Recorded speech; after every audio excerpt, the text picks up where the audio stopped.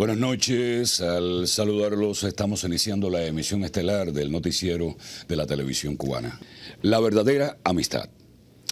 Ayer recibí la visita del presidente de la República Bolivariana de Venezuela, quien realizó un viaje al exterior relacionado con la defensa de importantes intereses petroleros de su país. Para hacer un contacto conmigo y saludarme personalmente como había prometido el 13 de agosto del presente. Ese día me había obsequiado algunas frutas, entre ellas unas pequeñitas como perlas, que yo que buscan laureles para su país.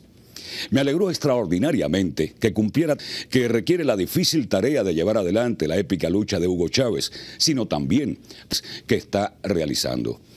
Nuestro mundo está viviendo uno de los más dramáticos, es el genocidio que se lleva a cabo en la Franca de Gaza. Lo que hace hoy Venezuela es un ejemplo excepcional.